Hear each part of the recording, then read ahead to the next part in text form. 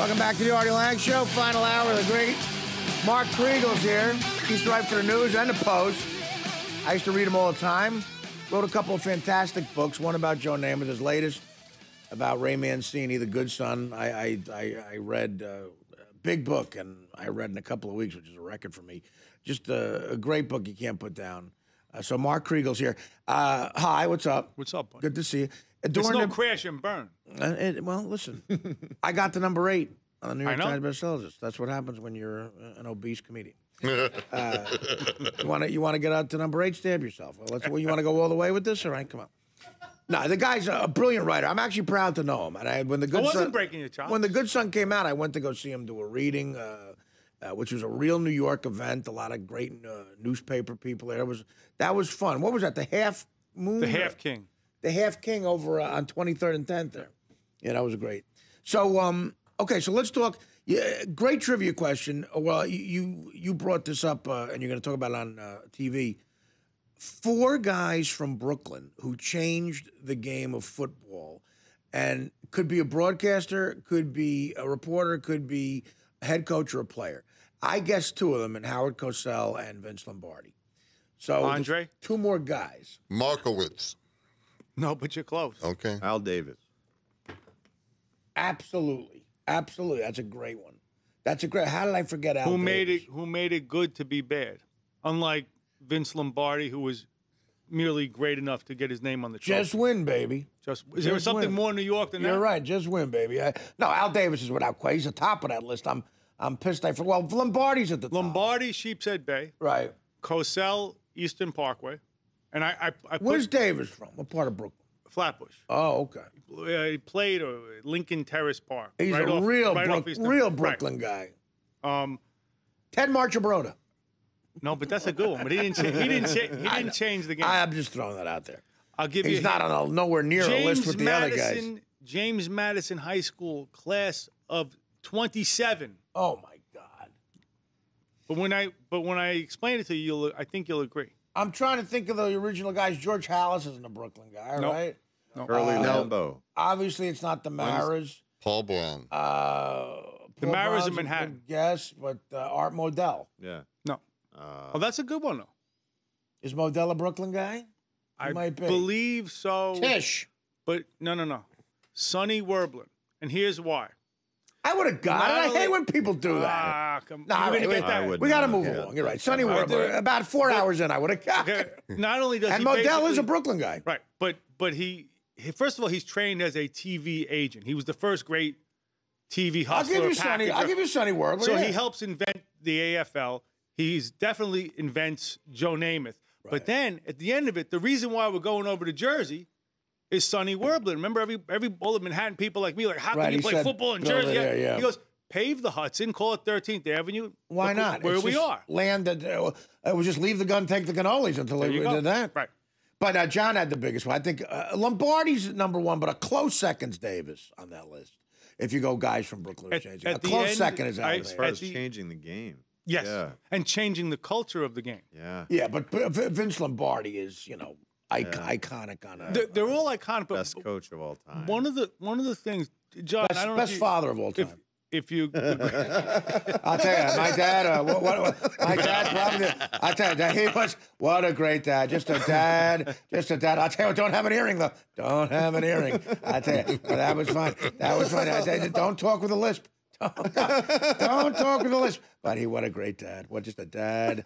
Just a dad. Don't forget to put a cover on the macaroni salad. Uh, on the floor. But what a dad. A dad. A dad that you've never seen before. Just a dad. Just a dad that you just left. Don't, don't accidentally uh, give your mother the wrong cigarette. That, that- just a dad. Just a dad's dad. Just a dad that I. how'd you like to have Al Davis for your old man? I know. Well, You uh, lost? John. You lost? John knows his son and says he's a well-adjusted, Mark, good guy. Listen, I, One of I- them. I How many know- kids he got? one. He's Uh, got Mark. Mark, and and I I know Mark a little bit now because he just had that thing for the Raiders in Las Vegas a couple summers ago, when he became the the owner basically to celebrate his dad's life. But I I don't think I ever saw him the whole time I was there. I think that he had the good sense to not want to Get be out of the his- way. No, no, no. To not want to be his dad. One of the most difficult things in American culture is the act of succession, right? You don't Yeah. want you don't want to be a Kennedy kid, You're right. That is tough. That is okay? tough. You're right. You, know, it, it, it, it's a it's Well, a, in some th- ways, you do. it's a, it's a thankless task. Oh, One yeah, of the right. things about Uh, Davis. Usually, when you uh, drown a whore, you'll get arrested. As a Kennedy kid, uh, I drowned a whore and uh, was uh, not incarcerated. That is one way. Uh, it was good to be a Kennedy kid. The pressure, the pressure uh, for to get into politics, bad. The uh, the ability to drown a whore and not be uh, arrested or incarcerated in any way is a uh, positive, a check in the plus column. Uh, yeah, I'm sorry, Mark. no, no, drown a whore. That's that's a verb. That's one. The drowning of a whore uh, uh, uh, off a bridge is a skill that uh, not many uh, rich uh, kids so know. terrible. But uh, yeah, I, I agree. A Kennedy kid. Uh, other than that, small advantage. Can I You're right. just Go ahead. I'm sorry. Can I just get my one Do it. extraneous sorry. Al Davis observation? Go right ahead. now? Nothing's gonna beat John a whore. Go ahead. at the end, people you know people today know Al Davis. He's like King Lear of Oaktown. He you know he was crazy at the end, but people forget what a visionary he was. I mean, Right. with Sonny Werblin, he does make the Brilliant. AFL. Brilliant. Absolutely brilliant. But you know, like you know, like all guys Him who and finish. Pete Rozelle and all those guys, they built the NFL. You're but right. the, but the, the tension between him, him and Rozelle goes a long way toward making It's the league. great. Also, who the hell ever thought of black uniforms? he does make it good to be bad. You're right. And he was very smart as hell. entertaining. And, Yeah. and very entertaining. And listen, He the, was smart the feud between him as and hell. Marcus Allen. I, I've talked to a lot of guys, guys. It could only be that Marcus Allen banged a broad that he liked or something. It, there's no th- that feud between Marcus Allen and and uh, Al Davis. Isn't it odd?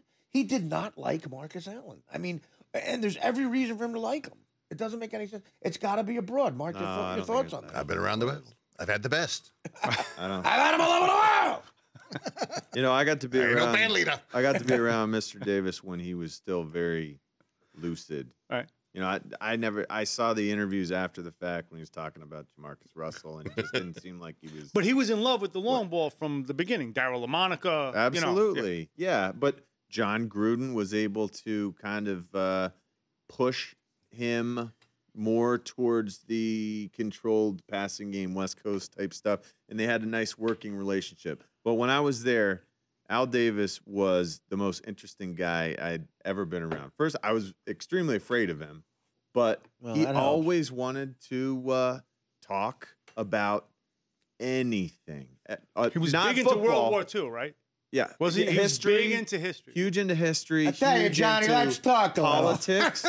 huge into literature, and he wanted to talk to me about literature. You know, because he was an English major at Syracuse. Let's talk a little English major. Tolstoy, Johnny. It was amazing. I, on my way out to Before I practice punch you in the face, get out of there. every Thursday, and he wanted was right about Lane Kiffin. about yes, Uh-huh. absolutely. Not a lot of people were.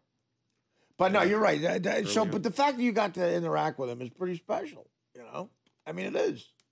Yeah. What books did he amazing. like to talk about? Herman Melville. Really? And Yeah. Moby Dick, right, Johnny? He was really, he was He really, was an interesting guy. he really liked uh, the Adventures of Billy Budd because he compared himself to Billy Budd. You said John has raised the level. No, he has. He's talking about. Melville. I didn't want to. Uh, I'm talking about you. I didn't want to tell him the homoerotic overtones of Billy Budd on that ship. Probably a good thing. you with the calling me? Uh, you calling me lighting the loafers? No, that's the thing. I, Get that's over the here, first John. thing I Come here, thought. John. You calling me flimsy? Come here, pal. How'd you like a punch of Flatbush right in your face? this guy over here is calling me flimsy. You're a punk. You're a punk's punk. I, uh, uh, I, I, uh, I'm Billy do Budd and. Moby Dick rolled into one. That's what I am. You know what I'm talking about? Big gay whale.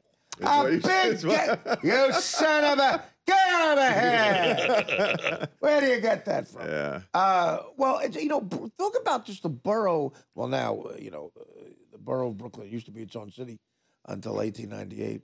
Uh, you uh, just think about how many people from all walks of life come out of Brooklyn. It really is a special place creative types, writers, showbiz, athletes. Uh, it's it's really crazy. Think of how many degenerates came out of this. That's what I mean. It's a special place. It really is. It's like unique. Al Capone. Al Capone came from. Bro- He did came from Brooklyn. Originally, he's from Brooklyn. Joey yeah. Gallo, Yeah, Joey Crazy Joe Gallo. President Well, Street.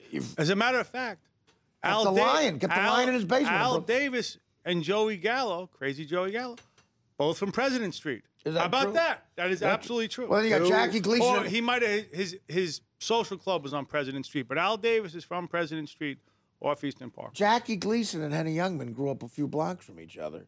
And uh, Jackie Gleason used to beat up Henny Youngman. And uh, then he tried to take his violin. True story.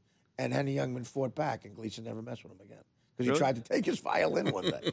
I mean, that's what was going on in Brooklyn. Where- where did- Uh, you know, That's a great story. Where did you get that story? I, I, Henny Youngman told it in a documentary. He took his violin. He want, Henny Youngman had a violin, you know, and he became famous for. And uh, Jackie Gleason wanted the violin, wanted to steal it from him, and he said, "No, that's the one thing I'm not giving you." 354 Chauncey Street. But yeah, that's where he grew up. That's where. No, that's where Ralph that's really grew up. no. That's really where Gleason grew up. That's that's. I covered on, a homicide there That's time. based on truth. The building still stands. I, I, I've been there. In three- Bushwick. I've been there at 354 Chauncey Street. Yeah. A friend of mine did a murder there, did a murder, ca- caught a murder case there. And people Right. used to come from like Europe and knock on them in Bushwick for Ralph Kramden. yeah, He Like really- schmucks. That's like where, lived in Sweden. But that's where Gleason really grew up, though. He really well, did. People, up. you know, it was like right across the street from the projects. People would knock on the door. tough area. Right. Tough area. Uh, but Brooklyn is a unique place, man. Who lived? Uh, was it below or above Al Davis when he was uh, growing up? Oh, jeez, Is, is that? And I could be What- what- what? remembering something wrong. I, I thought this was a Billy Budd? story. No, that'd be Moby cool. Dick. No, I thought this was a story that he told me. Like he lived above or below or next door to someone else who was uh, Walt Whitman. really important. Now he was lighting the loafers. That Walt Whitman guy, writing poetry. Danny Kaye. Who the hell? Know? Danny Kaye. Oh, don't No, get me he went- started. he he went to Erasmus with like Barbara. No, not was Barbra Streisand. No, Barbra Streisand would have been. Was she young. Brooklyn or lot younger. Bronx? No, she she was she was Brooklyn. I thought she was the Bronx. No. Jeez, just a lot of, a lot of minutia about Brooklyn. I had no Woody idea. Allen. Uh, you know, uh, yes, Streisand. Woody, jeez. Mel Brooks. Name a guy. Name a big comedian. From, Jerry Seinfeld. Uh, Mel Brooks wasn't a Long football. Island. Mel Brooks wasn't a football coach, was he? Huh? Mel Brooks wasn't a football coach. No, but he was a great comedian. You bastard. Rodney Allen Rippy. Rodney, Chris Rock. Brooklyn. Rodney Dangerfield. Tony Rock. Rodney Dangerfield. Rodney, yeah. Tony Rock. Absolutely. Jerry Seinfeld, Brooklyn, New York, 1954. Nah, he grew up in Long Island. He wa- he's I'm not. not, a talking Bro- about. he's Bourne. not a Brooklyn guy. I don't guy. go in. No, he's not. Andrew Dice He's Clay. not a Brooklyn guy. I'm not. going- Colin Quinn. is a Brooklyn guy. Yes. I don't go for that born there. It's like I Lou love guys. Ferrigno. Oh yeah, well you know about Lou a lot of- Ferrigno. That's right. The Nice. Newton Wino is there. Lou I know it. Ferrigno Let's hear- totally what, Lou? changed the uh, bodybuilding We have him right here. world. Yeah, that that they did that. Yeah. Three Stooges. You know what was so amazing about you, Lou? Yeah. Lou, when when that was a sport for guys who are five foot five, two hundred and Franco 20 Columbu pounds. was amazing in his definition. right, but you were six foot five, three hundred and twenty pounds. I was very, very small. And, Well, you were. and then I saw Arnold and the other guys and Joe Weider, and I, I was in playing. And uh, you do it long enough, and you, uh, I was, uh, I just felt better and better each time. Uh, we have Lou Ferrigno right here. Come on out, Lou. hey, Lou. That'd be great. No. Wait, that was Bocchetti's cue. yeah. Bocchetti's a Staten Island guy. Mike was walking out. Oh, Shetty- as what are you Lou doing, Mike? Ferrigno. I, I was just He thought you were referring to him. no. We'll- we'll uh, walk Bo, over. Bo Yeah. Howard. The Stooges are from Brooklyn. right. Okay. Yeah. Yeah, there you Yeah, go. that's true. It's a big comedy names. Maybe- oh no, uh, Marx What? Brothers. I don't know if they're from Brooklyn. They were from Brooklyn. What'd you say about me? The Marx Brothers. Oh no, maybe they were Lower No, East I don't Side. think so. Were they were- Lower I East think they- I think they were the Lower East Side. Lower East Side. That's another They were Lower like a East Side. Sammy's Romanian crew. Yeah, Lower East Side's Lucky Luciano, Bugsy Siegel, and you got that whole thing. Meyer Lansky, Meyer. please don't forget my people. Oh my, my, your people, uh, they they were the architect of the whole thing. We get the rap. we take the rap from Meyer Lansky. Uh, uh, you know, tells all these guys what to do, and all of a sudden, you know, we're the jerk offs. and then we claim anti-Semitism. You're right. Uh, You're right. He's a bright guy. So, uh, so when does this air? This special? I love stuff like that. Like you know, five Sunday morning game day. Basically, By the way, I'm in the open. By the way, for the NFL Network. no. All Jersey guys. I'm in the. I, ju- Really? We just taped it yesterday. I'm in the open. Who are the other Jersey guys? Uh, they got. Uh, You, Frankie Valli. uh, he might be. Who else? they got somebody. Ray Liotta. Ray Liotta's All going. night. Ray Liotta, myself, uh, and I think uh, one of one of them. So if my piece doesn't air, it's I got pushed out because of you. no, I'm the open. It's the open. The credits. The start of it. Your piece will air. Springsteen. I don't think Bruce said yes. He's not on a level with you anyway. He was busy. One of the guys that couldn't get over the bridge when Christie closed it. That's right. That's right. Christie. And Artie. That's right. That that is an aggravating. It's been a good week for Christie, huh? creating traffic is is a real boo boo. So wait, let me ask you a question uh, as a as a Jerseyite, and I don't Go want, right don't don't be upset. Go right ahead. Did they really think they were going to get equal equal credit for this Super Bowl? Did they expect not to be left out? Well, we are getting equal credit. It's a Well, very, just because they greet you at Newark Airport and go, "Hi, how you doing?" Very Jersey event. It's a very Jersey. What's in where? What's in Jersey? the the media day was in Jersey. All the players are staying in Jersey, and a little thing called the game is being played in New Jersey. Don't don't make me belt out my Bill Maher. You're stupid. the game is media day. Hey, did you go to media day, Mark? No, I was doing the show. You were at, so you were in L.A. Um, no, I or was- you're doing it at- here on Radio When Row. uh, the Radio Row was in uh, in the Sheraton. Thanks for being stupid. the Artie Lounge. The Artie Lange Show, weeknights on Audience, only on DirecTV.